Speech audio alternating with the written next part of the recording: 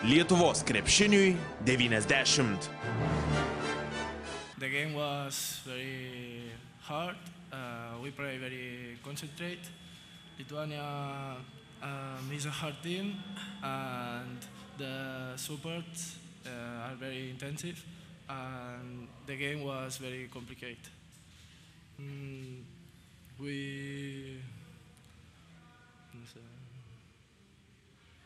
we we have a, a great uh, three three shots made, and the defense was the the most important of of the game.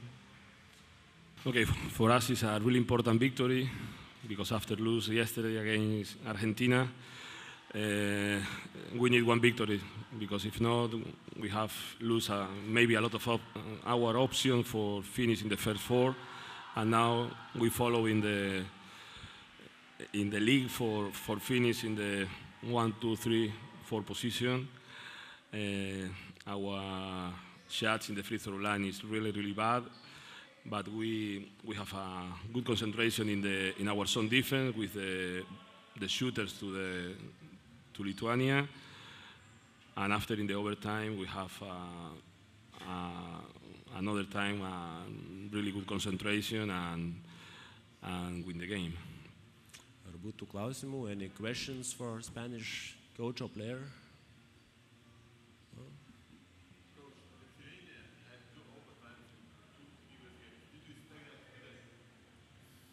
Sorry.